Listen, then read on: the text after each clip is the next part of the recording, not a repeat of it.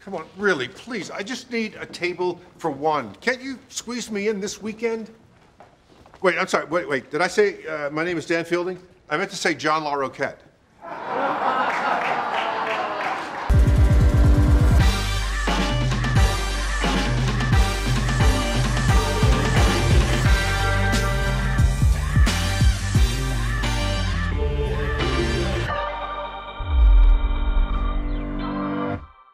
indulge me. I just like to know what's underneath all this. You're the judge. When we were pitching it, I kept calling it a new boot because it's very much a continuation of the show that I love so much. All rise. The Honorable Abby Stone presiding. Abby Stone is the daughter of Judge Harry Stone from the original. She really wants to make a difference. She's an eternal optimist. They gave me this fancy wooden hammer, so I'm gonna get to do what I want.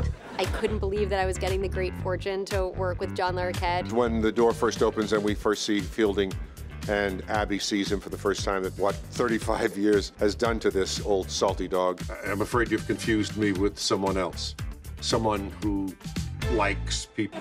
Being back on Night Court, seeing the new fresh faces of these very talented comedians who I'm working with makes it worthwhile. John's always up to some kind of mischief and throwing things in that we never saw coming. But I am not afraid to open a box. Stay out!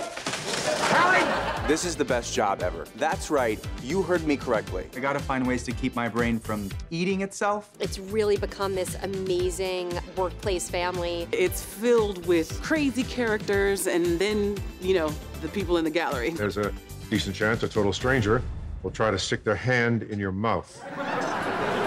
Guilty. Guilty. Impressive, but guilty.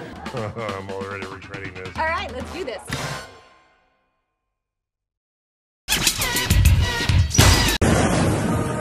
RE Classics.